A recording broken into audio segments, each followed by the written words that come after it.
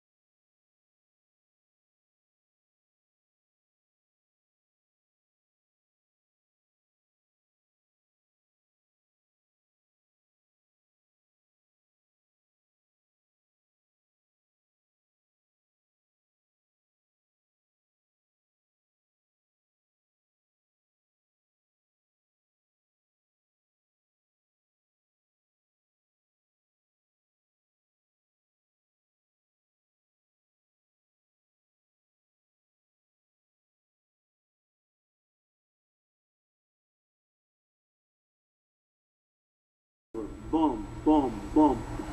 130, the other case 14, and we have many other cases. And this is all over the world now. This is now all over the world.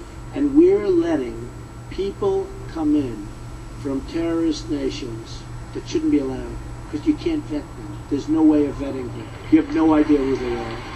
This could be the great Trojan horse of all time. A Moroccan national who came to the United States on a student visa was arrested for plotting to blow up a university and a federal courthouse. Arrested. Ubec, oh, you know who that is. Do You know where it is? Huh? Uzbek refugee living in Idaho was arrested and charged with providing support to a terrorist organization in the form of teaching terror, and this is what they do teaching terror recruits how to build bombs. Oh, wonderful, wonderful. I don't want them in this country. Wonderful, wonderful. And by the way, you got to turn these people in. You got to turn, you know, when you go to San Bernardino, they had bombs all over the floor of the apartment. People saw those bombs, they didn't turn them in. Those people are guilty of a crime. Believe me.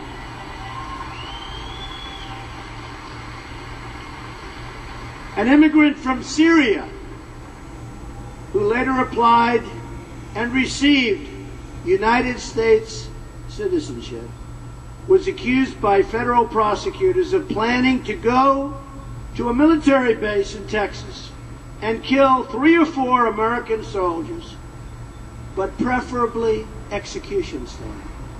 We're dealing with animals, preferably execution style. A college student who immigrated from Somalia, who later applied for and received U.S. citizenship, attempted to blow up a Christmas tree with the lighting at a major ceremony in Oregon. An immigrant from Afghanistan who later applied for and received U.S. citizenship, and a legal permanent resident from the Philippines were convicted for plotting to join Al Qaeda and the Taliban in order to kill as many Americans as possible.